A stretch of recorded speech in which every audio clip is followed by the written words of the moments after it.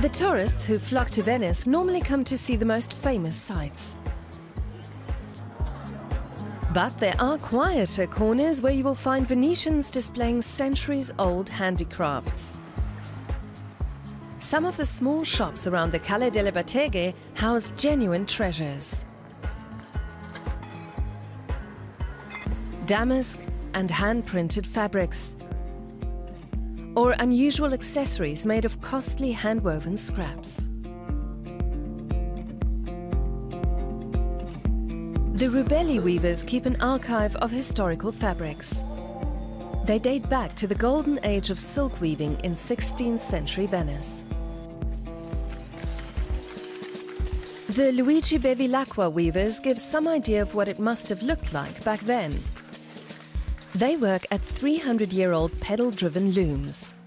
The exclusive velvets can only be achieved by hand at the rate of about 30 centimeters a day. They are sent all over the world, gracing interiors from the White House to the Kremlin in Moscow. And fashion designers turn them into haute couture.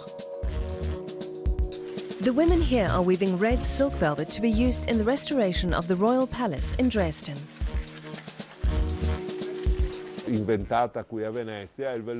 What's known as soprarizzo velvet was invented here in Venice. It's made up of several layers of fabric to create a relief-like effect, and at the same time with changing colors.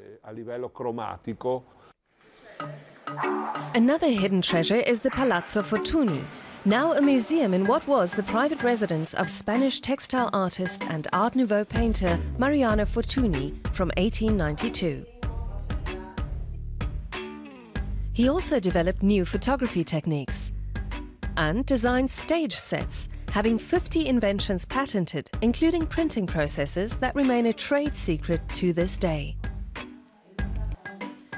Mariano Fortuny gained fame for his process for producing a sheer plissé. His wife Henriette used it in the early 20th century to create the iconic Delphos gown.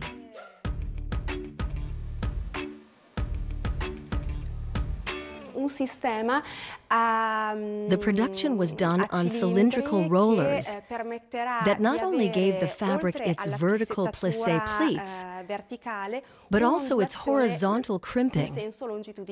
That lends the dress even greater allure. Only a few steps further on is the La Fenice Opera, one of the world's finest opera houses. It took several years of work to repair the damage caused by a major fire in 1996. The gold-plated decoration in the Rococo Theatre Hall is true to the original.